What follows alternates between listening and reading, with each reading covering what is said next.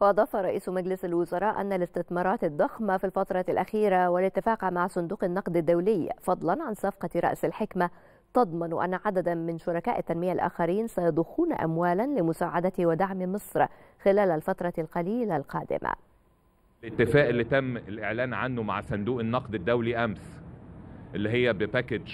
حضراتكم سمعتوها 8 زائد 1 و2 من عشرة يعني بإجمالي 9 و2 من عشرة مليار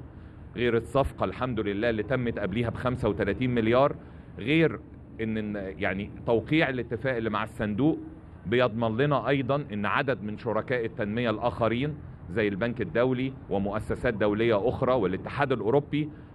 هيحطوا أيضا مبالغ لمساعدة ودعم مصر في خلال الفترة القليلة جدا القادمة وهيتم الإعلان عنها.